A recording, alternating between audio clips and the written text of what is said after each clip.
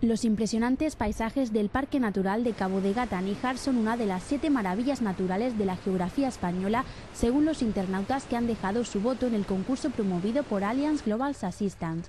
El Parque Marítimo Terrestre de Almería ha alcanzado la tercera posición del ranking, por detrás del Peñón de Gaztelugache en Vizcaya y del Parque Natural de Somiedo en Asturias. Esta denominación es un aldabonazo al desarrollo de un turismo sostenible y de calidad en la provincia.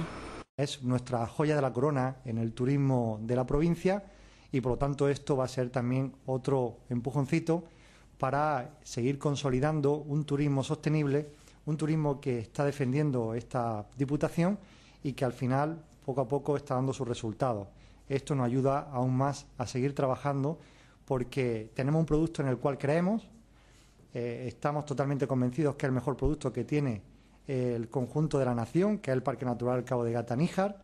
En esta primera fase del concurso de las siete maravillas españolas han participado 20 paraísos naturales repartidos por todo el territorio nacional, que han registrado un total de 82.000 votos.